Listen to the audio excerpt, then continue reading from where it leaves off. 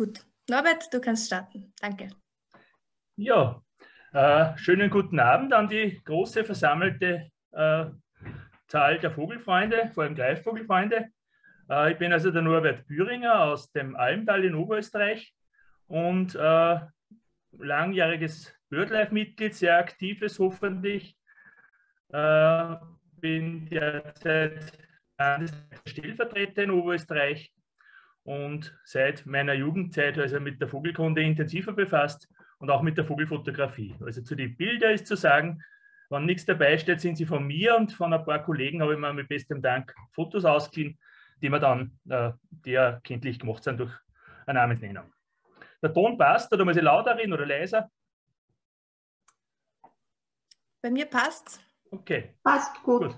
Wenn keine großen Einwände kommen, fahre ich fort. Ja, Greifvögel in Österreich, Artenmerkmale, Bestimmungsprobleme.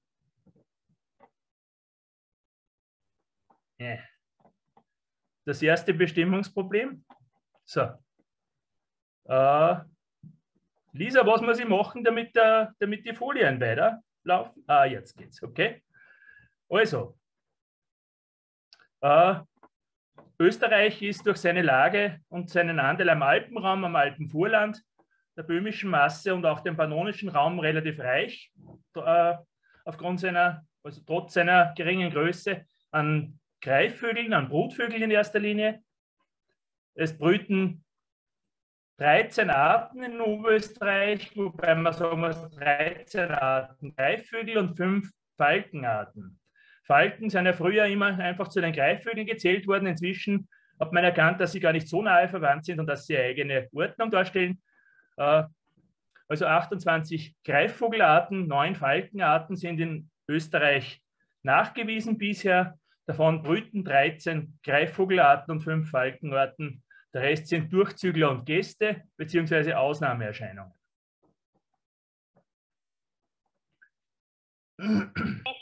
Habe ich geschlossen. Jetzt tue ich eröffnen. Und jetzt kann ich. Oh.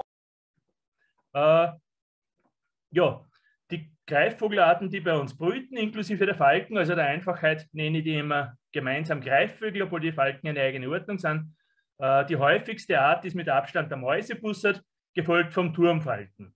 Dann in Abfolge, absteigender Reihenfolge eine ganze Kaskade an, an Arten, die mittelhäufig sind, bis zu den ganz, ganz seltenen äh, wie Rotfußfalke oder Kaiseradler oder die Kornweihe, von der ich die Bestandszahl eruieren habe können. Es sind aber nur wenige Paare, die in Österreich brüten.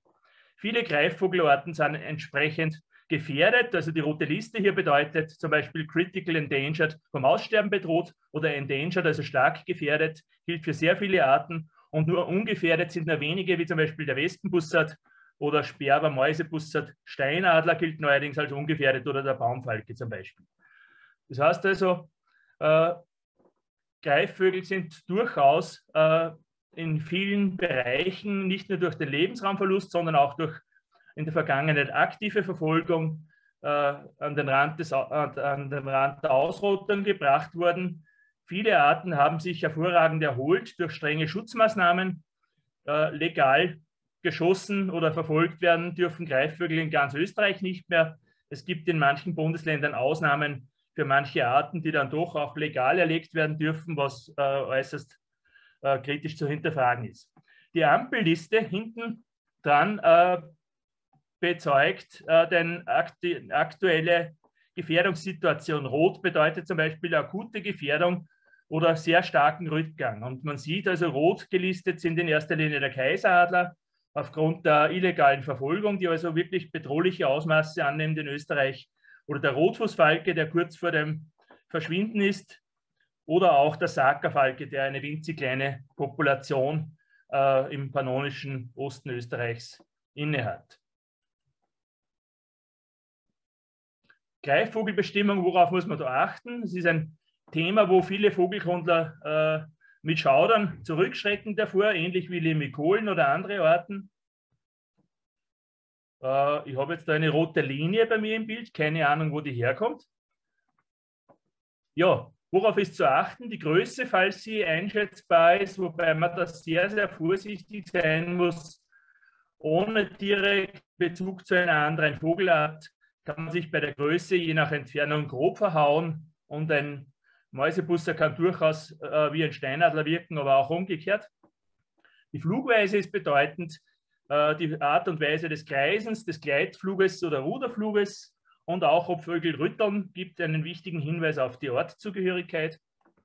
Gefiedermerkmale natürlich, sofern man sie sieht, Farbe und Zeichnung sind wesentlich. Äh, und das führt natürlich dazu, dass also optische Ausrüstung ein ganz, ganz wesentliches, eine ganz wesentliche Voraussetzung für die Greifvogelbeobachtung ist.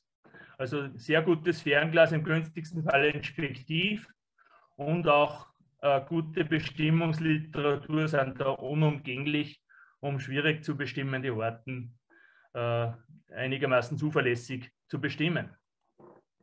Proportionen und Form des Körpers, der Flügel des Schwanzes sind wesentlich für die Bestimmung. Also es, man sieht, es ist eine ganze Palette an äh, Einzelfaktoren, die herangezogen werden muss, um eine Vogelart oder eine Greifvogelart konkret und korrekt bestimmen zu können.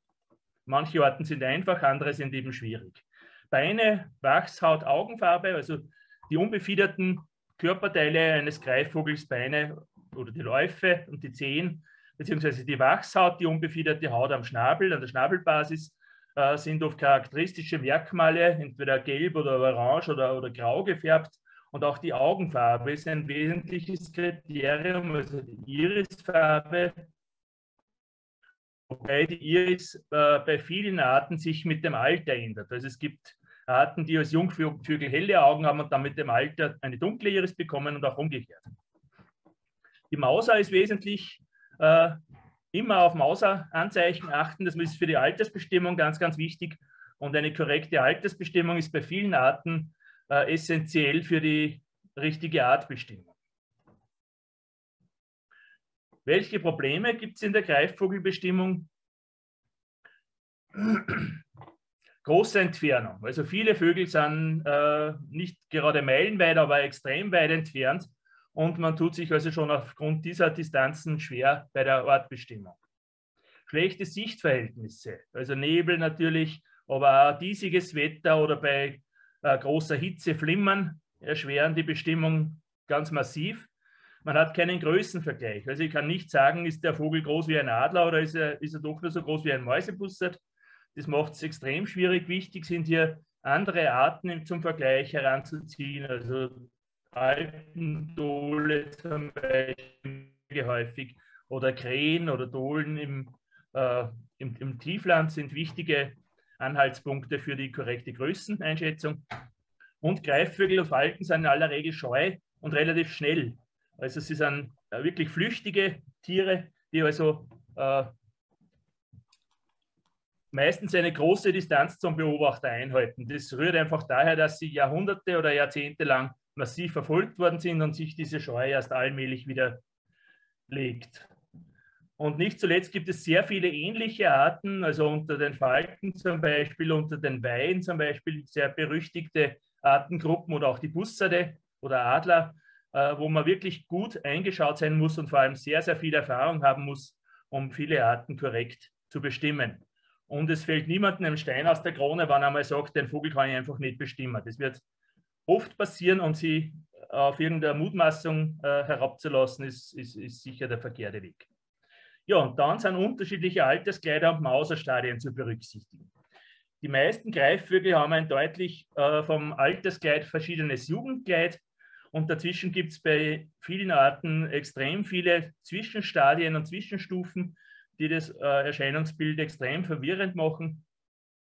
Das heißt also, hier ist auch äh, das Alter zu berücksichtigen. Wie, wie, gesagt, vorhin schon anhand der Mauser äh, ist es also ein wichtiges Kriterium, äh, um, um den Vogel korrekt bestimmen zu können.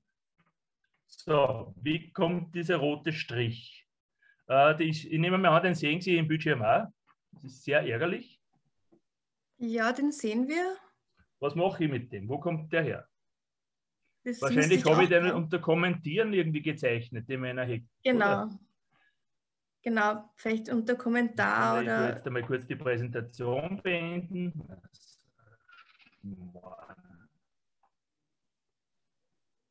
Vielleicht kann ich den irgendwie wegtun. Da ist er nämlich nicht in der.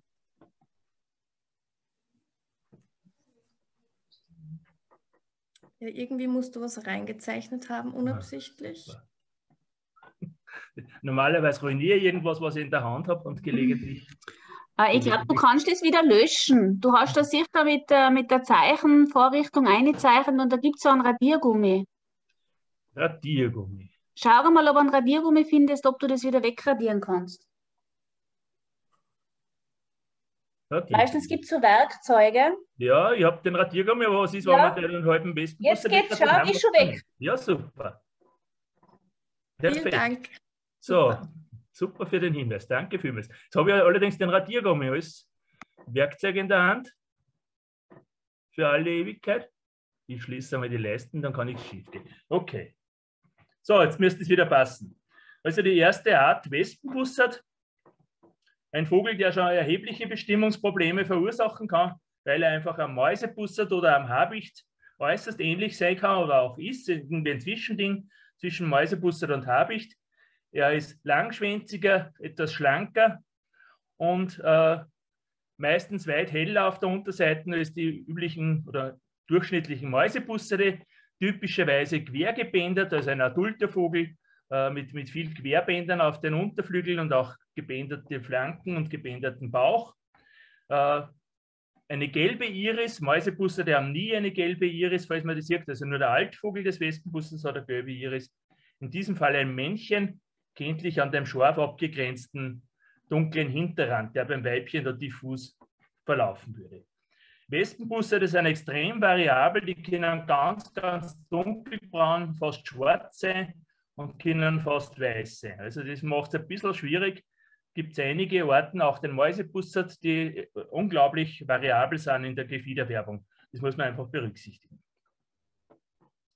Das ist jetzt ein dunkler Vogel, aber schon anhand der Proportionen ist der Wespenbussard recht gut bestimmbar. Er hat einen Schwanz, der ungefähr so lang ist wie die Flügelbreite. Beim Mäusebussard wäre es deutlich kürzer. Es ist eher ein, ein schlankerer Vogel und ganz typisch für den Wespenbussard ist auch noch der kleine Kopf und der weit nach vorgestreckte Hals. Ein Mäusebussard ist gedrungen, hat einen kurzen Hals und den Kopf immer recht, recht stark angezogen. Also das ist ein typisches Wespenbussard-Merkmal in den Proportionen, Schwanz so lang wie die Flügelbreite. Und im günstigsten Fall sieht man immer irgendwelche Zeichnungsmerkmale. Im Sitzen ein Wespenbussard, der schon gesagt, wie Iris, blau-graue Wachshaut, im Gegensatz zu einem Mäusebussard, wo sie gelb ist, und äh, extrem derbe und kräftige Grabfüße. Also der grabt wirklich Erdwespen und Hummelnester aus. Äh, mit dieser Nahrungsbiologie ist er natürlich ein Zugvogel, also ein Langstreckenzieher. Und berühmt ist ja der Greifvogelzug in Kärnten am Dobratsch, wo also tausende Wespenbussarde jedes Jahr äh, nach Süden ziehen. Markant und typisch für den Wespenbussard ist, ist, eben, dass er äh, Erdwespen und Hummelnester ausgrabt. Also das kann man gelegentlich beobachten. Er grabt wirklich tief in die Erde und, und plündert das Nest komplett aus, tragt also die Waben fort oder nutzt es für den Eigen, Eigenverzehr. Äh, und es rührt daher, dass der Wespenbussard sehr spät im Jahr brütet. Also die kommen erst einmal Ende April, Anfang Mai aus dem Winterquartier und die Jungen werden dann irgendwann einmal im August erst flügen normalerweise, weil einfach die Brutzeit auf die Flugzeit und, und Entwicklungszeit der Hymenopteren dieser Hautflügler angepasst ist. Ein Jungvogel, Jungvögel sind oft bei vielen Greifvogelarten anders proportioniert, sind oft kompakter, breitflügeliger, wahrscheinlich tun sie sich leichter mit dem Fliegen lernen, aber auch hier typisches Erscheinungsbild, kleiner nach vorgestreckter Kopf. Interessanterweise hat der Jungvogel eine dunkle Iris und eine gelbe Wachshaut. Also genau umgekehrt wie beim Altvogel. Und ich habe zuerst vergessen zu erwähnen, das ganz markante Schwanzmuster des Wespenbussards, eine breite, dunkle Endbinde oder eigentlich eine Subterminalbinde. Die Endbinde ist dann wieder weiß, aber ich sage da mal einfach Endbinde dazu.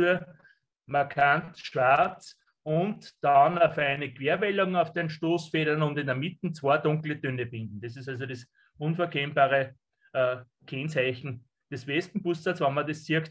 Und wenn man schlechte Sichtbedingungen hat, muss man sich auf die Proportionen verlassen. die Milane, bei uns zwei Orten, äh, die einmal in, in, früherer Zeit sehr, sehr selten waren und einen sehr erfreulichen Aufwärtstrend haben. Derzeit beide Orten eigentlich nehmen relativ stark zu. Milane sind Allesfresser oder zumindest äh, zu einem erheblichen Teil Aasfresser und dann sie also in unserer Kulturlandschaft, die intensiver genutzt ist, relativ leicht. Äh, sind wirkliche Kulturfolger, beide Arten, vor allem auch der, vor allem der Rotmilan, aber auch der, der Schwarze und äh, nutzen also das intensiv genutzte Kulturland, um dort äh, noch Opfern auf Mähwiesen und so weiter zu suchen, also toten Mäusen oder klappern auch die Straßen ab nach Verkehrsopfern. Der Schwarzmilan ist ein äh, Greifvogel deutlich größer von der Spannweite her als ein Mäusebussard. Oberseits einheitlich schwarzbraun mit diesem markanten äh, Flügelfeld, das äh, allerdings nicht so deutlich ist wie bei, wie bei seiner Schwester dem Rotmilan. Und ganz wichtig ist der nur schwach gekerbte Schwanz. Hier ein Altvogel mit grauem Kopf und heller Iris. Schon gesagt, Milane, in dem Fall der Schwarzmilan, sind also Kleintierjäger und, und nutzen sehr viel Aas und äh, schmarotzen auch bei anderen Greifvögeln, jagen einer die Beute ab. Äh, Schwarzmilan und Rotmilan haben auffallend kurze Beine, haben eine sehr langgestreckte Gestalt und im Vergleich zu ihrem Körpergewicht eine sehr große Flügelspannweiten. Also ganz anders proportioniert als der plumpe Mäusebusser zum Beispiel. Hier ein Altvogel in der Mauser. Äh, Schwarzmilane haben üblicherweise sechs sichtbare Handschwingenspitzen. Das ist ein wichtiges Merkmal. Eins, zwei, drei, vier, fünf. Die sechste hat er gerade vermausert. Also der mausert da gerade die inneren Handschwingen und schiebt die da gerade. Also da darf man sich nicht irritieren lassen, aber wenn er nur fünf Handschwingenspitzen hat, wird es deswegen trotzdem kein Rotmillan. Also so sieht man wieder, wie wichtig äh, die Beachtung des Mauserzustandes ist in der Greifvogelbestimmung. Ein Jungvogel, Jungvögel sind unterseits so hell gewölkt, haben eine dunkle Iris und ein makellos sauberes Gefieder, weil sie ja mit dem äh, sozusagen frisch auf die Welt gekommen sind, haben nur keinerlei Mausergrenzen oder Abnützungsspuren. Und man sieht an diesem Bild, dass also diese, dieser schwach gekerbte Schwanz durchaus ganz gerade abgeschnitten wirken kann. Also da darf man sich nicht irritieren lassen. Im stark gespreizten Schwanz kann er sogar rund äh, nach außen gebuchtet wirken. Die Schwesternart der Rotmilan, eine sehr erfreuliche Entwicklung, der war also einmal einer der seltensten Brutvögel Österreichs und nur in den Markteierauen zu Hause. Inzwischen ist er wahrscheinlich von Westen her Bayern, der Schweiz massiv nach Österreich eingewandert und äh, ja, als Kulturfolger findet er einen reich gedeckten Tisch vor. Er ist deutlich röter als ein äh, durchschnittlicher Schwarzmilan, einfach bunter in Summe, hat große weiße Handschwingenfelder, also die Handschwingen sind die Schwungfedern ab dem Handgelenk nach außen, zehn bei den Greifvögeln, das sind die Armschwingen nach innen, also Handschwingenfeld ist das da innen, groß weiß, das hat der äh, Schwarzmilan auch, aber viel, viel undeutlicher und verwaschener, also nie in der Ausprägung. Ein Altvogel, kräftig, großrot mit schwarzer Bruststellung und hellem Kopf. Der Rotmilan hat eine deutlich größere äh, Schwanzkerbe, also weit stärker gekerbt, wobei man da wirklich aufpassen muss, je nach Schwanzhaltung kann es durchaus unterschiedlich ausschauen und äh, zu unklaren Verhältnissen führen und es gibt sogar Hybriden zwischen den zwei Arten. Also da darf man sich nicht irritieren lassen, wenn man mal einen Milaner nicht bestimmen kann. Und durch die Maus erkennen die völlig anders ausschauen. Also keine Rede mehr von einer Schwanzkerbung oder die äußersten Federn, die kürzeren und so weiter. Da gibt es alle Varianten.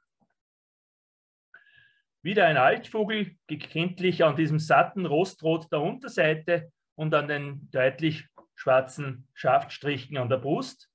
Ganz helle Iris, grau gestrichelter Kopf, also ein unglaublich schöner Vogel. Und das Markante an einem Rotmilan ist, dass er auch auf der Oberseite so zweifarbig ist. Also auf der Oberseite extrem bunt wo der äh, Schwarzmiller mehr oder weniger einfällig ist. Im Unterschied. Jungvogel im Gegensatz dazu viel, viel blasser, also einfach rostbeige, keine schwarzen Schaftstriche, sondern weiße äh, Federzentren auf der Brust und auf der Unterseite. Insgesamt viel, viel blasser. Äh, der Kopf ist eher gräulich statt weiß mit, mit, mit klaren Stricheln. Und auch am Schwanz gibt es ein äh, untrügliches Merkmal. Er hat eine dunkle Subterminalbinde durch. Und da sieht man schon, wenn der Schwanz komplett gespreizt ist, ist keine Rede mehr von einer deutlichen Kerbe. aber auch bei Jungvögeln dieses große weiße Handschwingenfeld schon vorhanden und ein dunkles Band unten durch am Unterflügel gebildet von den unteren Armdecken und Handdecken. Typisch für Milane ist, dass sie mit leicht gesenkten äh, Flügeln kreisen, also leicht nach unten gesenkt, ganz anders als ein Mäusebusser zum Beispiel. Und wirklich augenfällig ist die, die Eigenart der Milane, dass sie also den Schwanz äh, äh, in der Körperachse ständig drehen zum Manövrieren. Also das ist wirklich ein auffallendes Merkmal, das die Milane praktizieren. Der Schwarzmilan ist ein Zugvogel, der praktisch nie im Winter in, in Mitteleuropa anzutreffen ist. Hingegen der Rotmilan kann äh, fallweise bei uns überwintern. Es gibt sogar größere Wintergesellschaften, Schlafgesellschaften. Er ist also im Winter auf Aas angewiesen, nimmt also äh, gern Verkehrsopfer wie diesen Feldhasen zum Beispiel. Und wie gesagt, er schmarotzt gerne, wie hier drangsaliert einen Mäusebusser, der gerade verzweifelt versucht, eine Maus im Ganzen hinunterzuschlingen, was er normalerweise nicht macht, aber damit er es der Miller nicht wegnehmen kann, plagt er sich da fürchterlich und er hat es wirklich geschafft, die zu behaupten. Aber der Milan hat minutenlang attackiert und hätte ihn zur Abgabe der Beute zwingen wollen. Ja, Milane machen also Schlafplatzgesellschaften. Hier ein Trupp Rotmilane am Abend am, am Vorsammelplatz, vor allem aus dem Osten Österreichs ist das bekannt aus die Macht heimhauen. Und dort sind schon 100 und mehr äh, Rotmilane nachgewiesen worden an einem Platz. Die beiden Orten im Vergleich, links rot, rechts schwarz Milan. Man sieht also nochmal die ganz markanten Details. Andere Schwanzkerbung, also schwach gekerbt beim Schwarzmilan, stark gekerbt beim Rotmilan, sattes Rostbraun, zumindest des alten Rotmilans und äh, rostfarbiges Braun, Grau beim Schwarzmilan. Beide haben einen hellgrauen Kopf im Adultkleid und beim Schwarzmilan diese sechs Handschwingen, die sichtbar sind, beim Rotmilan nur fünf. Also der Rotmilan hat einen spitzeren und schmäleren Flügel und wenn er nicht gerade Maus hat, ist das also ein recht gutes Kennzeichen. Und man sieht da diesen Unterschied im Handschwingenfeld, also beim Rotmilan groß und deutlich und scharf abgegrenzt, beim Schwarzmilan diffus Wobei man sagen muss, es gibt es also auch wesentlich deutlicher als bei diesem Exemplar. Der Seeadler, unser größter, also abgesehen jetzt vom Badgeier, größter Greifvogel, äh, eine Erfolgsgeschichte des Vogelschutzes in Europa, also war, wenn ich es richtig in Erinnerung habe, ungefähr 150 Jahre ausgestorben in Österreich als Brutvogel und ist zu Ende des 20. Jahrhunderts wieder zurückgekehrt dank strenger Schutzmaßnahmen in erster Linie in den Nachbarländern und hat zuerst in den Donau angebrütet. Inzwischen hat er also den ganzen Osten Österreichs, äh, Nordosten Österreichs besiedelt und brütet auch an größeren Fischteichen, sogar auch in der Steiermark und vor allem äh, sehr stark im Waldviertel. Auch in Oberösterreich hat es schon erste Bruten gegeben, also der ist wirklich am Vormarsch.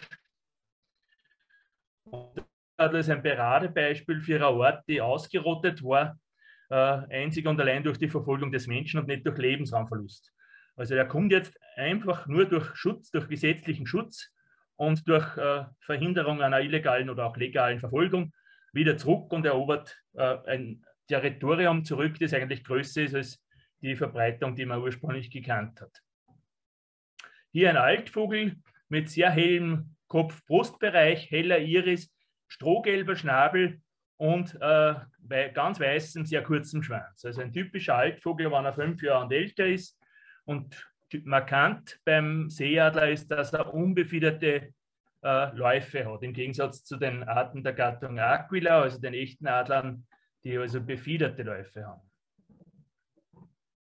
Ein Jungvogel in seinem ersten Winter äh, leben also dann im, zu einem erheblichen Teil von Aas weil sie einfach äh, nicht wirklich geschickte Jäger sind. Seeadler sind eher plumpe Vögel. Dennoch äh, gelingt es ihnen immer wieder, Wasservögel zu erbeuten oder auch Fische. Aber wenn irgend möglich, nutzen sie also Aas.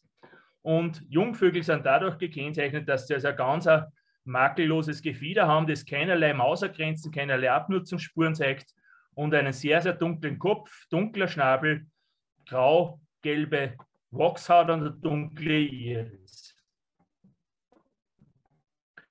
Seeadler sind generell extrem kurzschwänzig, also da überragen die Flügelspitzen das Schwanzende und sehr kompakte, kräftige, gedrungene Greifvögel. Hier ein Immatura-Vogel, wahrscheinlich im vierten Lebensjahr, äh, der also dann extrem fleckig und äh, bunt, scheckig wirken kann. Der Schwanz wird inzwischen weiß durch mehrere Mauserschritte und er mausert also auch äh, im Flügel das Großgefieder, hat da noch drei jugendliche Armschwingen, die viel länger sind als der Rest.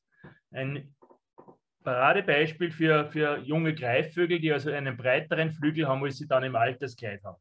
Also da verkürzen sich ja die Federn und der Vogel wird schnittiger und eleganter, wahrscheinlich auch wendiger in der Jagd, während er zuerst einfach mit einem breiten und plumpen Flügel natürlich leichter fliegen lernt, als mit einem schmalen, schnittigen. Immatura Seeadler von einer Nebelkrähe attackiert. Äh, man sieht also, wie dringend nötig der die Mauser hat. Diese großen Greifvögel mausern nicht mehr das ganze Gefieder in einem Jahr, also erneuern mehr alle Federn in einem Jahr, das geht sich nicht aus, da werden sie nicht mehr flugfähig, weil diese riesenlangen Schwungfedern äh, Monate zum Wachsen brauchen, sondern sie erneuern, je, erneuern nur jedes Jahr einzelne Federn und die Jugendkleidfedern, die da noch über sind, äh, zeigen dann also extreme Abnützungserscheinungen bis, bis zu völligen Verschleiß. Und erst wenn der Vogel adult ist, hat er mal alles irgendwie komplett durchgemausert und bleibt dann äh, sein Leben lang vom Gefieder her weitestgehend gleich, außer dass viele Greifvögel und auch der Seeadler immer noch heller werden mit zunehmendem Alter. Hier ein Seeadler im fünften Kalenderjahr, wo der Schnabel noch eine dunkle, äh, einen dunklen First hat und der Schwanz noch nicht rein weiß ist. Also hier ein Größenvergleich mit einem jungen Kaiseradler, der doch deutlich schmächtiger und kleiner ist, aber beide kommen im selben Revier vor und äh, streiten sich gelegentlich um ein und dieselbe Beute beziehungsweise um irgendwelches Aas. Nochmals ein adulter Seeadler, strohgelber Schnabel, helle Iris, sehr helle Kopf- und äh, Halspartie, auch der Oberflügel ist sehr, sehr hell und vor allem der Schwanz blütenweiß, bis auf äh, Verschmutzungsspuren natürlich, die durch die Jagd entstehen und die zwei Spitzen der mittleren Oberschwanzdecken, die immer dunkel bleiben. Also da sieht man, wenn man ganz scharf schaut, verschiedene, das Gefieder schaut makellos aus, aber es hat verschiedene Federgarnituren. Alles, was da dunkel ist, ist erneuert worden, ist relativ neu und dazwischen sind immer wieder alte, ausgeblichene Federn. Also die Mauser ist ja notwendig, äh, weil der Vogel natürlich äh, sein Gefieder enorm abnutzt bei der Jagd. Durch äh, Sonneneinstrahlung bleicht es aus und so weiter. Es gibt auch Parasiten, die Federn am lebenden Vogel fressen. Also das muss einfach immer wieder mal erneuert werden. Und das ist das Geniale an den Vögeln, dass sie das also mit der Mauser bewerkstelligen können. Die haben also immer wieder mal einen völlig neuen Flugapparat zur Verfügung. Seeadler sind relativ plumpe Vögel, aber trotzdem äh, schneidige Jäger, die also eine Graugans erbeuten können zum Beispiel oder einen Feldhasen. Hier ein Immatura-Vogel bei der, oder ein Subadulter bei der Entenjagd.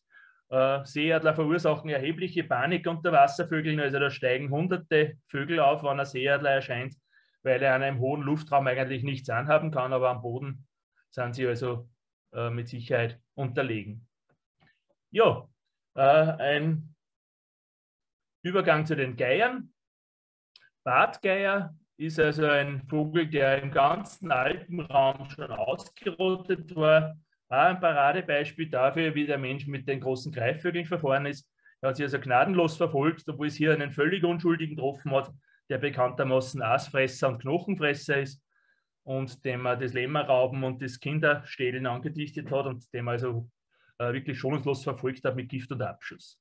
Wohlibadgeier in den Alpen entstammen einem Wiederansiedlungsprojekt, äh, das seit, die, seit, Ende der 1990er Jahre, äh, Ende der 1980er Jahre recht erfolgreich läuft. Also im ganzen Alpenbogen gibt es inzwischen wieder Brutpaare.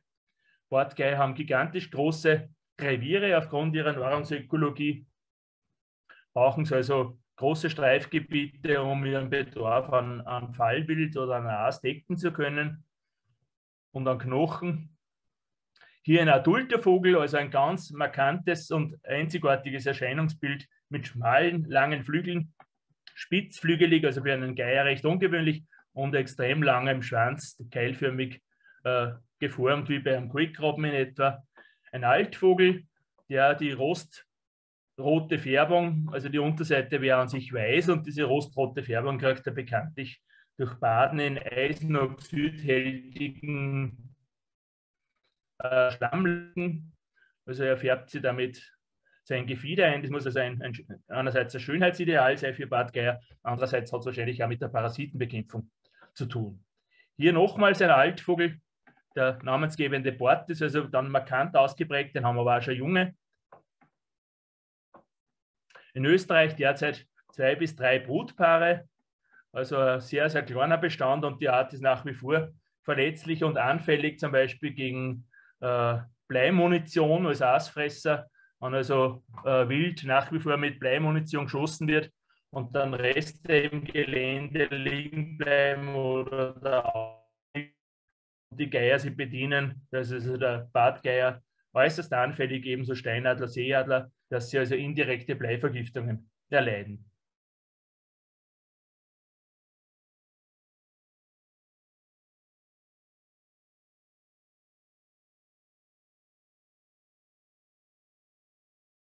Gelegenheit, das Gefieder einzufärben. Also ursprünglich ist das Gefieder des Bartgeiers auf der Unterseite weiß. Ja, ein Blick in den Svensson, in äh, das Bestimmungsbuch, veranschaulicht, dass Jungvögel fast schwarz sind und auch komplett anders proportioniert. Ich habe schon gesagt, viele junge Greifvögel haben viel, viel breitere Armflügel, da hat er nur einen kürzeren Schwanz und im Laufe von sechs, sieben, acht Jahren kriegt er das Adultkleid. Und Bartgeier werden auch extrem spät geschlechtsreif und Arten, die äh, geringe Reproduktionsrate haben, spät geschlechtsreif werden, sind natürlich besonders anfällig für Verfolgung. Ein Paar in Kärnten, ein Altvogel verpaart mit einem immaturen Vogel in der gemeinsamen Schlafwand. Gänsegeier hat wahrscheinlich in Österreich nie gebrütet, auch nicht historisch. Gibt es nur einzelne Bruten am Untersberg in Salzburg. Er ist nur Sommergast bei uns, kommt aus äh, Kroatien hauptsächlich und es überwintern, übersommern Dutzende Vögel, vor allem in die hohen Dauern. Immer wieder kommt es zu Vorstöße weiter nördlich oder auch in den Pannonischen Osten. Aber das Gros übersommert in die hohen Dauern. Für den Gänsegeier typisch ist der eingezogene Hals, also der wird S-förmig eingezogen wie bei Reiher und die nach oben gehaltene, die nach oben gehaltenen Schwingen im, im Kreisflug. Typisch auch die Bordi die ausgebuchtete Armflügel und der sehr schmale Handflügel. Gänsegeier sind extrem kurzschwänzig. Den Mönchsgeier habe ich, obwohl er nur sehr, sehr selten bei uns auftaucht, dazugenommen, weil er einfach immer wieder und in jüngerer Zeit verstärkt unter Gänsegeiern anzutreffen ist.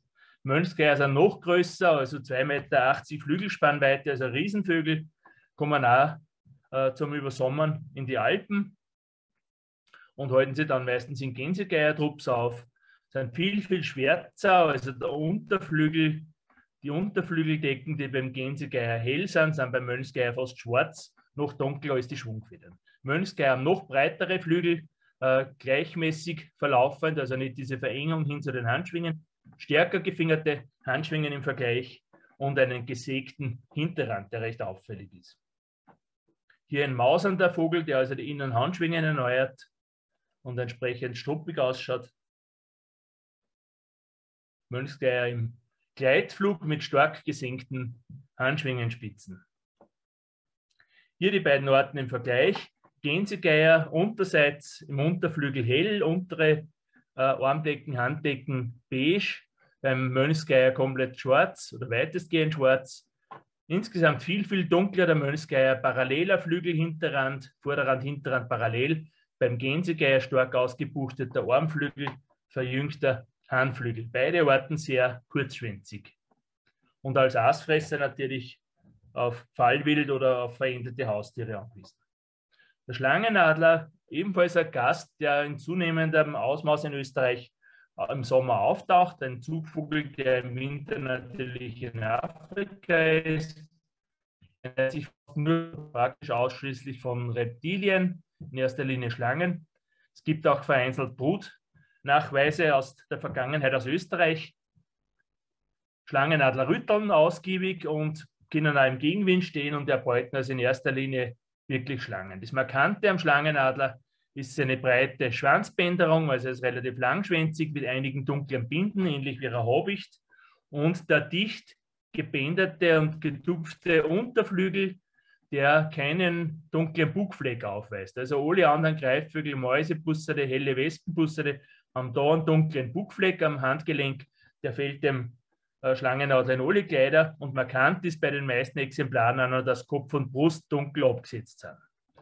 Schlangenadler haben sehr kräftige Fiers zum Erbeuten der, der Schlangen natürlich äh, notwendig und eine leuchtend gelbe Iris. Das ist ein relativ großköpfig, was bei sitzenden Vögeln aus größerer Distanz auffällt. Zu den Weihen. Die Weihen sind wieder eine berüchtigte Gruppe innerhalb der Greifvögel.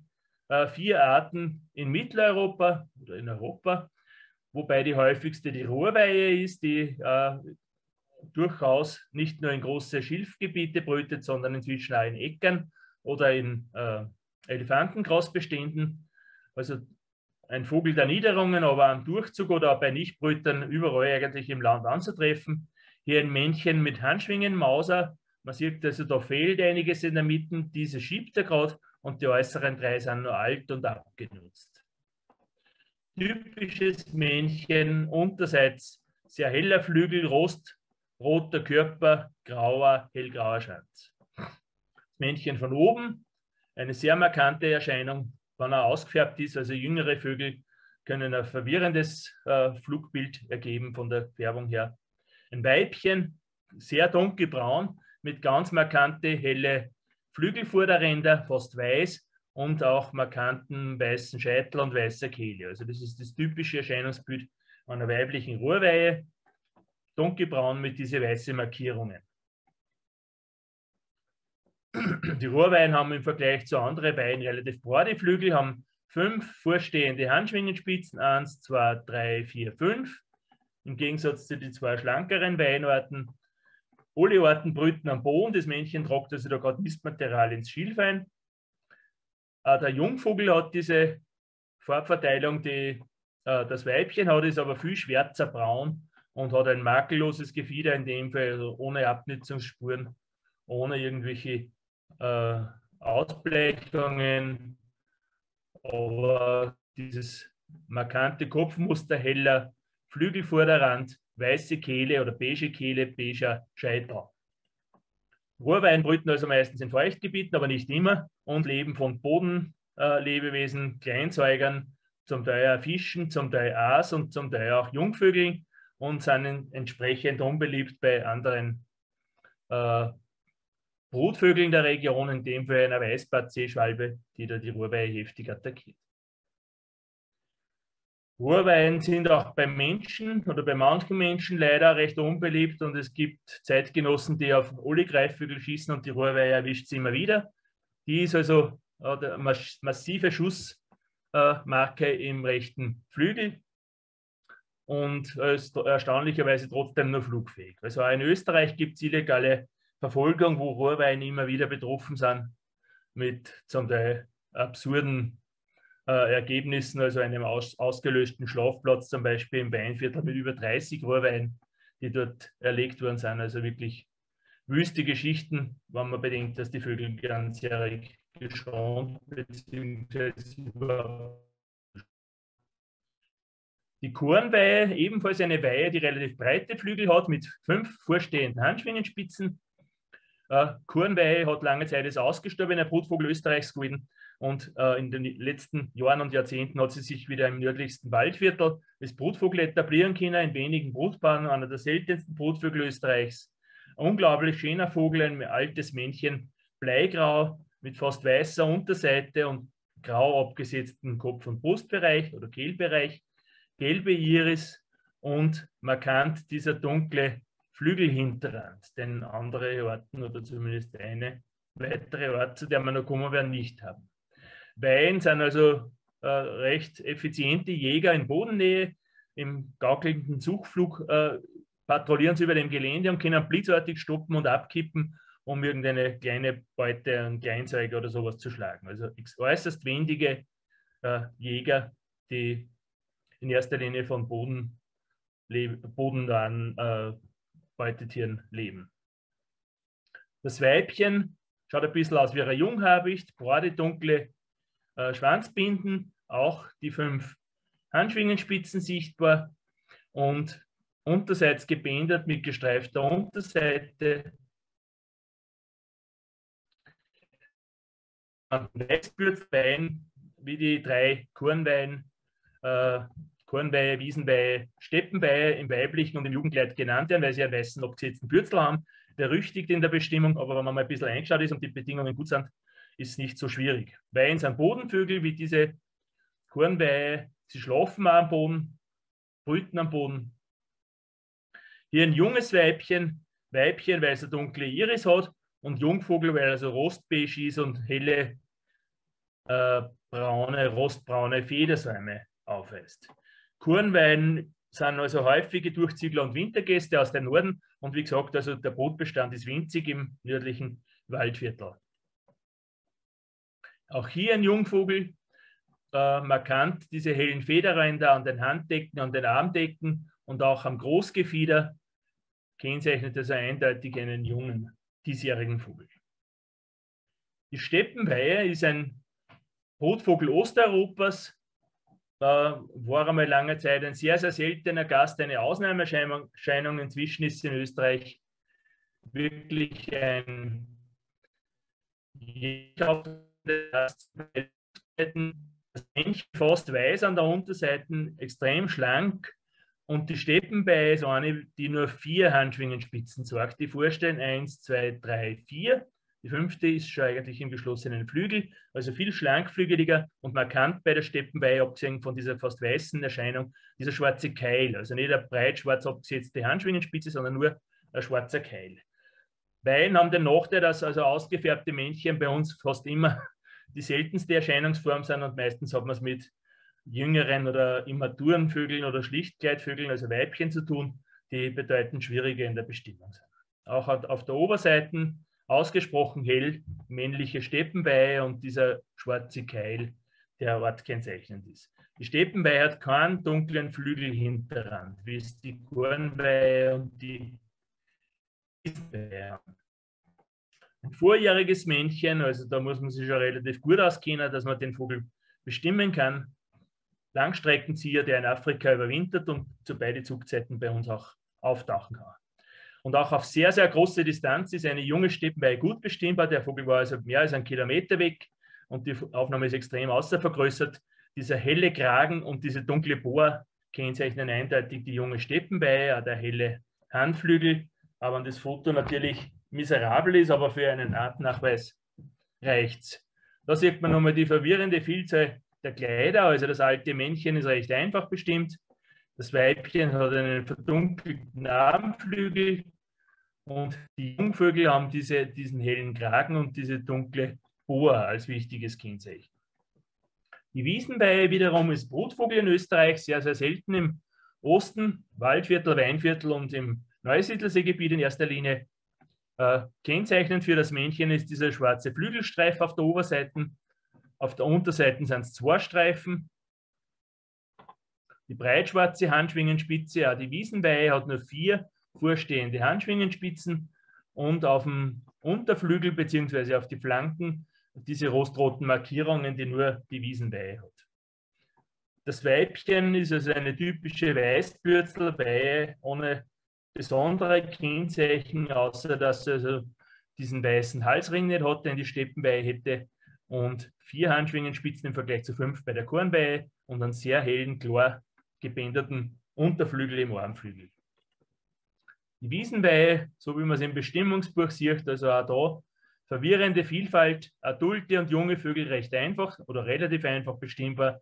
Schwierig sind also mausernde zweites Kalenderjahr, zum Beispiel der drittes Kalenderjahr, die noch nicht ausgefärbt sind. Wir kommen zu den Habichten. Ein junger Habicht, also äh, Habichte oder der Gattung Akzibiter sind also markant äh, von den Proportionen her eher gedrungener Körper, langschwänzig, kurz und breitflügelig. Also das kennzeichnet Habicht und Sperber in erster Linie bei uns. Äh, typische Jäger des Waldes oder der Dickung, wo sie also durch den langen Schwanz äußerst manövrierfähig sind.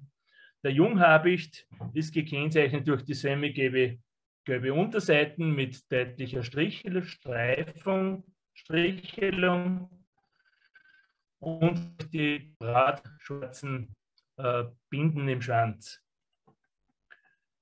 Habichte, Habicht und Sperber sind also ausgesprochen wendige Jäger, habe ich schon gesagt. Dazu bedienen sie sich der äh, Schwanzform und der kurzen Flügel, sind unglaublich wendig und leben, wie der Habicht zum Beispiel in erster Linie von Bodentieren oder bodennahen äh, Vögeln, die dort erbeutet werden. Krähen zum Beispiel.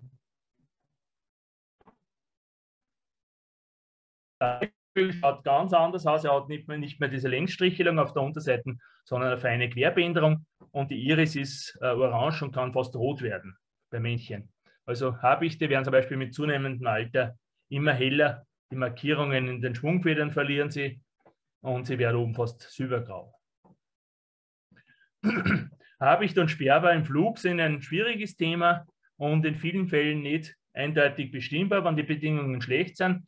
Im günstigen Fall hat der Habicht einen massiven, großen Kopf, kräftigen Schnabel, ausgebuchtete Armschwingen und eine verengte Hand und er hat breite Hüften. Also der Sperber ist einfach ein schmächtiger Vogel, wobei man sagen muss, Sperber Weibchen und Habicht Männchen sind durchaus ähnlich schon in den, in den Größenverhältnissen, aber eben in den Proportionen doch deutlich verschieden. Der Habicht ist einfach ein großer, kompakter, kräftiger Vogel. Der Sperber ist wie hier schmächtig und deutlich kleiner, normalerweise vor allem das Männchen.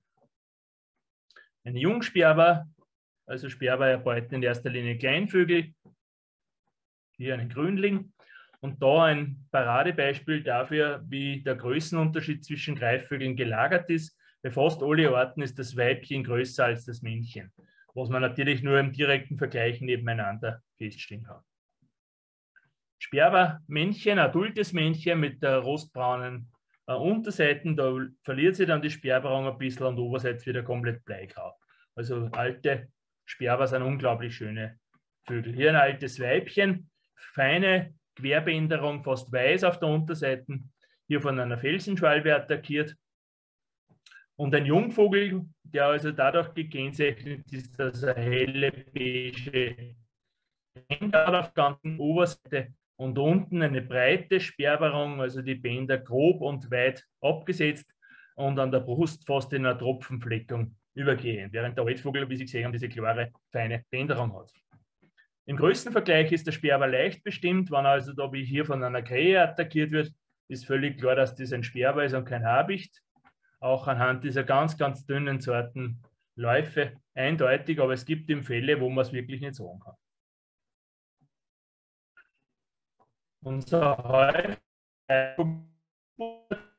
die kompakte, kräftige Gestalt plumpen Körper, kurzen Hals, dicken, großen Kopf, der nicht weit vorsteht, breite Flügel und einen Schwanz, der ungefähr zwei Drittel der maximalen Flügelbreite ausmacht. Wespenbusser, haben wir uns erinnern, ist deutlich langschwänziger, Habicht sowieso viel langschwänziger, kurzflügeliger, also die Proportionen sind deutlich verschieden. Und ich kann nur jedem empfehlen, der sich mit der Greifvogelbestimmung vertraut machen möchte, er muss ein paar Standardorten äh, wirklich gut verinnerlicht haben, das ist der Mäusebusser, das ist ein Sperber, das ist ein Turmfalke. Also wenn man die mal abgespeichert hat in allen Lebenslagen sozusagen, dann tut man sie auch mit der Bestimmung seltener Arten wesentlich leichter. Mäusebustert, kompakte Erscheinung, breitflügelig, kurzschwänzig in Relation, also zwei Drittel ungefähr der maximalen Flügelbreite, ein Altvogel mit einem breit dunklen Flügelhinterrand, oder zumindest ein Immatura-Vogel, kein Junger mehr. Die Iris wird dann dunkelbraun mit zunehmendem Alter und an die Flanken wird er immer mehr gefleckt statt gestrichelt. Altvogel mit brauner Iris. Hier ein Alter, der also dann auf den Flanken schon diese äh, Bänderung entwickelt, wo Jungvögel gestreift sind, längs gestreift breiter Flügelhinterrand, der den Jungen fällt und eine schwarze Schwanzendbinde, die man da nicht gut sieht, aber die den Jungvögeln auch fällt.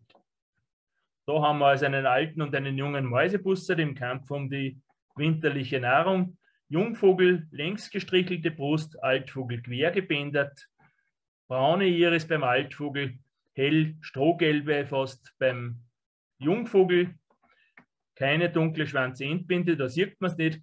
Und hier breite Flügel, breit dunkler Flügelhinterrand, den der Jungvogel auch nicht hat, aber das sieht man halt da blöderweise auch nicht, aber Sie können mir es glauben, es ist so. Altvogel in der Mauser, man sieht also da, dass die äußeren Handschwingen gerade wachsen, der hat alle erneuert und die schiebt er gerade noch und auch der Schwanz ist in Mauser. Aber sonst ein ganz klassischer Altvogel, kurzschwänzig im Vergleich zur Flügelbreite, gedrungener Körperbau, breiter äh, Kopf, kurz, nicht weit nach vorgestreckt. Der Adlerbussard, äh, eine Art, die in den letzten Jahren mehr und mehr nach Österreich vordringt. Also der hat eine Bestandszunahme in, in östlichen Mitteleuropa hinter sich und es gibt immer wieder Adlerbussarde, die in Österreich längere Zeit sich aufhalten, über Sommern wie auch über Wintern. Kommt beides schon vor. Meistens sind sie immature oder jüngere Vögel, aber man kann vielleicht eines Tages erwarten, dass er sogar als Brutvogel bei uns heimisch werden könnte. Großer Vogel, der heißt nicht umsonst Adlerbussard, mit langsamen Flügelschlägen, also durchaus adlerartig, lange Flügel, relativ langer Schwanz, relativ hohe Beine. Hier ein Jungvogel, der nur eine Bänderung aufweist im Schwanz und ein helles Flügel, äh, Handschwingen fällt, dem, Alt, dem Altvogel fehlt das Handschwingen dann und der Schwanz wird fast ohne Bänderung zimtrot. Die eine Feder erneuert er gerade, da sieht man schon, die hat er irgendwie zwischendurch verloren und man sieht, die kommt ganz anders wieder nach, als, als die Jugendkleidfedern waren. Die Bänder werden immer weniger mit zunehmendem Alter. Adlerbuster, die sind hochbeinig, die stehen also schon wirklich hoch in der Landschaft, sind sehr häufig am Boden stehend zu beobachten. Oder wie hier auf dem Mosten. Weitestgehend auf Ostösterreich beschränkt, aber es gibt immer wieder auch Fälle, wo äh, in, der, in der Obersteiermark oder in, auch im, im, im, Vorarlberg schon Adlerbussere aufgetaucht sind. Also den kann man überall erwarten. Der Raufußbussard, Wintergast aus Skandinavien und aus, dem, äh, aus der Arktis, oder nicht aus der Arktis, sondern aus der Tundra, äh, in unterschiedlicher Zahl. Also Mitteleuropa wird hauptsächlich im Norden und Osten frequentiert. Im Alpenraum ist der Raufußbuster als äußerst seltener Wintergast. Schwieriger zeitweise vom Mäusebuster zu unterscheiden. Wichtiges Merkmal ist diese Schwanzendbinde, die wie hier bei einem Jungvogel unscharf abgesetzt ist, also dunkle Endbinde mit praktisch weißem Schwanz auf der Unterseite sehr, sehr hell am Unterflügel mit deutlichen Kapalfleck, also dieser Handwurzelfleck ist ganz, ganz markant schwarz und meistens ist der Bauch auch abgesetzt schwarz und der Kopf sehr, sehr hell. Die namensgebenden rauen Füße, also die befiederten Läufe, sieht man dagegen nur ganz, ganz selten, die helfen man bei der Bestimmung fast gar nichts. Raufußbuster, das sind Vögel der offenen Kulturlandschaft im Winter, bevorzugt in der Ebene und den Tieflagen. Zu Hause hier ein Altvogel, kleinerer Schnabel ist ein Mäusebussard, schwarzer Bauch, scharf abgesetzte schwarze Brust, sehr heller Unterflügel, Unterflügel mit dunklem Bugfleck und dieser breitschwarze äh, Schwanzrand mit einer ganz schmalen weißen Endbinde. Jungvogel, sehr heller Kopf, helle Brust, schwarzer Bauch und die Schwanzzeichnung ist hier nur zu erahnen, also der ganze Schwanz weiß mit dunkler Endbinde. Auch da wieder die Flügelzeichnung ganz markant. Und da kann man auch die befiederten Läufe erahnen, die bis auf die Zehen eben äh, zart befiedert sind. Raufußbusse der rütteln sehr, sehr viel, wobei man sich da nicht verleiten lassen darf. Auch Mäusebusse der rütteln und stehen vor allem bei Sturm oder bei starkem Wind häufig im Gegenwind. Also das Rütteln alleine ist kein Merkmal für einen Raufußbussard. Da muss man schon weitere Merkmale wie Unterseitenzeichnung und vor allem die Schwanzbinde kontrollieren. Und es gibt leider auch Mäusebusse, die einen sehr hellen, fast zeichnungslosen Schwanz haben und eine breite, dunkle Endbinde. Also das gibt es leider auch. Wir kommen zu den echten Adlern der Gattung Aquila. Schreiadler, ehemals Brutvogel in Österreich, jetzt nur mehr sehr seltener Durchzügler. Der Großteil des Bestandes zirkt viel weiter östlich durch an den Bosporus. Ein immaturer Vogel, extrem kurzschwänzig, und äh, breitflügelig, also typische Adlerstatur, aber nur etwas größer als ein Mäusebussard. Verwirrende Kleidervielfalt, aber äh, im Jugendkleid und im Adultkleid relativ gut bestimmbar. Er hat eine Zwillingsart, den Schelladler, der auch in Österreich ganz, ganz selten oder unregelmäßig auftaucht, als Wintergast und als Durchzügler. Also da empfehle ich einen Blick ins Bestimmungsbuch, um die zwei Arten auseinanderzuhalten. Da lassen wir uns jetzt nicht, nicht näher drauf ein. Im größten Vergleich zum Mäusebusser deutlich größer, breitflügeliger, also typische Adlerstatur, äh, breit gefingerte Hand, sehr kurzschwänzig. Schreiadler sind also Brutvögel Ost-, Nordosteuropas, also vor allem in Ostdeutschland schon und in Polen und so weiter, sind also verbreitete Brutvögel, Langstreckenzieher, die in Afrika überwintern. Der Kaiseradler ist ähnlich dem Seeadler eine Erfolgsgeschichte, Erfolgsgeschichte in Österreich, der also nach äh, langer Ausrottung wieder zurückgekehrt ist, und zwar durch strengen Schutz in Nachbarstaaten. Also Österreich hat da nicht wirklich viel dazu beigetragen. Und man glaubt, der Kaiseradler ist ein Steppenvogel, der also bei uns keine Lebensräume mehr findet. Und er kommt aber in der durchschnittlichen Kulturlandschaft sehr, sehr gut zurecht. Man muss ihn nur in Ruhe lassen. Und leider werden ein erheblicher Teil der bei uns schlüpfenden und flügge werdenden Kaiseradler äh, sterben eines unnatürlichen Todes. Der Altvogel ist eine tolle Erscheinung, also unterseits fast schwarz mit strohgelbem Nacken und Oberkopf, äh, ganz fein grau gebändeten Schwanz mit breiter Endbinde. Äh, Kaiseradler segeln und gleiten mit leicht nach unten hängenden bzw. waagrechten Flügeln, im Gegensatz zum Steinadler zum Beispiel. Der Jungvogel schaut komplett anders aus, er ist also mehr oder weniger semmelgelb mit stark aufgehellten inneren Handschwingen. Das ist also ein wichtiges Merkmal, dass er da so silbergrau ist und äh, feine Strichel auf der Ober- wie der Unterseite. Ein sehr bunter und auffallender Vogel, vor allem auf der Oberseite. Diese hellen Ränder an den großen Armdecken und Handdecken sind also typisch Jugendkleid und diese feinen hellen Schaftstriche und der, die, äh, die, hellen äh, rostbeigen Oberschwanzdecken. Dieser Vogel ist besendet und lebt nicht mehr, ist also Opfer einer illegalen Verfolgungssache geworden. Äh, Kaiseradler sind offenbar trotzdem, trotz der Verfolgung im Aufwärtstrend in Österreich. Äh, der Bestand ist schon weit über 20 Brutpaare. Sie werden in Ausbreitung begriffen, wenn man sie nur ließe. Und hier ein immaturer Vogel vom gelben Jugendkleid ins dunkle Alterskleid mausert seine Zwillingsort der Steinadler, kommt man glauben, die zwei kann man nicht verwechseln, weil sie verschiedene Lebensräume besiedeln. Dem ist aber nicht so. Also Steinadler tauchen durchaus auch im Tiefland auf und äh, Kaiseradler auch im Gebirge am Durchzug. Kann man nicht ausschließen. Steinadler haben im Gegensatz zum Kaiseradler die Flügel leicht angehoben. Sie haben also da eine merkliche Einkerbung zum Körper hin, die ganz typisch ist für Steinadler. Sie sind langschwänziger, zudem nur weiße Felder in den Handschwingen aufweist und eine weiße Schwanzbasis. Auch hier ein Jungvogel, der ganz, ganz düster schwarzbraun ist und äh, im Alterskleid dann noch viel, viel heller wird. Hier ein alter Steinadler. Die Markierungen in den Schwingen und die Bänderungen und Flecken sind äh, individuell verschieden, aber auch altersabhängig. Also anhand dieser Zeichnungsmuster kann man auf kein Alter mehr schließen. Aber jedenfalls mit zunehmendem Alter äh, werden die Vögel immer heller, also vor allem Kopf- und Nackenbereich werden ganz strohgelb. Der Fischadler, ein wirklicher Nahrungsspezialist, auch ein historischer Brutvogel Österreichs, in den 1930er Jahren letzte Brut am Offensee, ausgerottet. Und auch der ist wieder am Vormarsch in Europa und könnte eines Tages wieder äh, Österreich als Brutheimat auswählen. Ein Jungvogel, kenntlich an diesen weißen, sauberen Rändern, Langstreckenzieher, der also in Afrika überwintert, ein Weibchen, kenntlich an dem dunklen Brustband. Der Fischadler ist so ähnlich wie der Schlangenadler wirklich ein Nahrungsspezialist. Da hat er also einen Praxen erbeutet, äh, lebt praktisch ausschließlich von Fischen, die er stoßtauchend aus dem Wasser holt.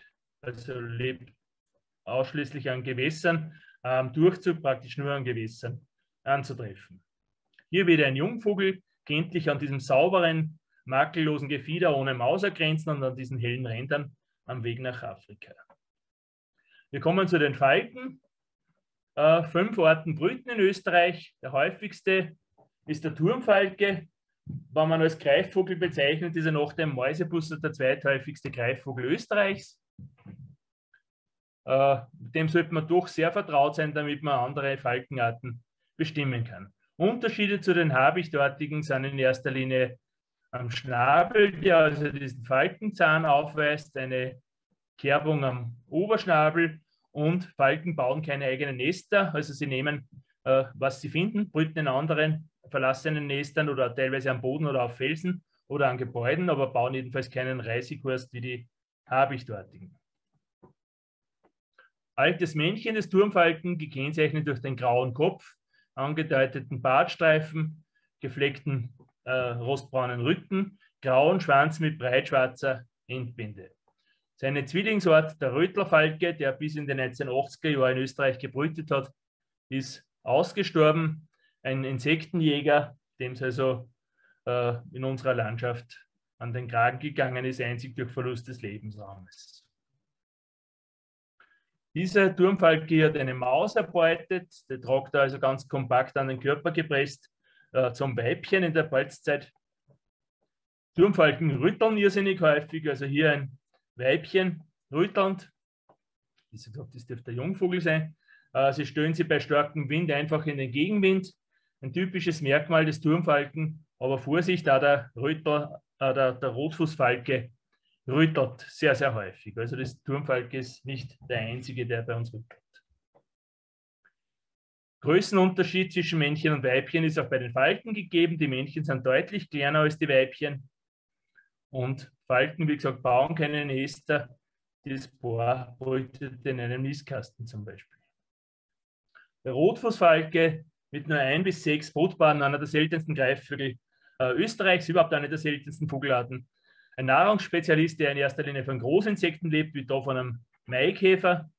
Ein altes Männchen. Und nachdem Falken keine Nester bauen, braucht der Rotfußfalke in diesem Fall alte Krähennester und er nutzt dazu vor allem Saatkrähenkolonien, wo er also leere und, und uh, aufgegebene oder verlassene Nester nutzt, aber auch welche uh, waghalsig erobert und den Krähen abjagt. Rotfußfalken wären Koloniebrüter, aber es ist, kommt leider in Österreich nur mehr ganz, ganz selten vor, dass mehrere Paare in einer Kolonie zusammenbrüten. Dieser Vogel ist heuer im Seewinkel fotografiert im Mai. Er wurde in Oberitalien, ich glaube 2016, beringt als Nestling. Also in Italien geboren, in Österreich pflanzt er sich fort. Altes Weibchen schaut komplett anders aus als das Männchen. Semmelgelbe Unterseite, beiger Scheitel, helle Kehle und vor allem gebänderte Schwanzfedern und Schwungfedern. Hier mit einer Grille, also die Großinsekten sind die, wirkliche Nahrungsgrundlage des Rotfußfalken hier ein Männchen im zweiten Kalenderjahr. Da ist also das Großgefieder, also Schwanz- und Flügelfeder, noch im Jugendkleid. Das Körpergefieder hat er schon teilweise äh, in ein Alterskleid vermausert, wird also da grau mit diesen rostbraunen Hosen, die dann zum Vorschein kommen, aber noch immer ein fleckiges Erscheinungsbild. Jungvogel, Flücke Jungvogel in seinem ersten Lebensjahr, schaut ein bisschen am Baumfalken ähnlich an Jungen. Die Kopfkappe äh, ist anders gezeichnet, er hat da eine helle Stirn, die der Baumfalk genäht hat. Und er hat vor allem gebänderte Schwanzfedern, wo der Baumfalke die mittleren ungebändert grau hat. Rotfußfalken am Durchzug leben also von allen möglichen Insekten, auch von Regenwürmern. Ein kleiner Falke, der bei uns nur im Winter auftaucht, ist der Merlin. Sehr selten äh, im westlichen und südlichen Österreich vor allem im pannonischen Osten und im Norden, äh, Weinviertel, Waldviertel, Wintergast, aber immer auch sehr selten. Der Großteil überwintert einfach weiter nördlich. Der kleinste Falke Europas, also das, das Männchen nur gut so groß wie eine Misteldrossel, schiefergraue Oberseite und äh, beige Unterseite mit feinen Stricheln, kennzeichnen den Altvogel, also das alte Männchen, äh, der dem Weibchen sehr, sehr ähnlich schaut. Merline sind äußerst schnittige Jäger, die in erster Linie Kleinvögel erbeuten, äh, können also durchaus am Wanderfalken ähnlich schauen, wenn man keinen Größenvergleich hat. Und wenn man aber dann den Vergleich zu einer Krähe hat, ist dann eindeutig. Also das ist wirklich ein kleines Vogel, aber unglaublich gewandter und wendiger, schneidiger Jäger. Der Baumfalke wieder ist Brutvogel in Österreich. Nach dem Turmfalken die häufigste Falkenart. Brütet in verlassenen Krähennestern, meistens Krähen- und Elsternnestern. Äh, Baumfalken sind äußerst schnittige und schlanke, wendige Jäger, die in erster Linie Kleinvögel erbeuten, sogar Schwalben und Segler und Großinsekten in der Luft erbeuten. Vor allem schwärmende Insekten wie hier, also Köchlerfliegen zum Beispiel, Maikäfer, Libellen, die auch gleich im Flug verzehrt werden. Der alte Baumfalke ist gekennzeichnet durch diese schwarz gestrichelte Unterseite und die rostroten Hosen und Steißgegend und durch diese markante schwarze Kappe mit Bartstreif und diesen schwarzen Koteletten hinten, die ihn auch von einem Wanderfalken unterscheiden oder auch von einem Eleonorenfalken, von dem es inzwischen auch einen Nachweis aus Österreich gibt. Hier zwei adulte Baumfalken. Der Star da oben hat nichts zu befürchten, also sie jagen praktisch nur im Flug.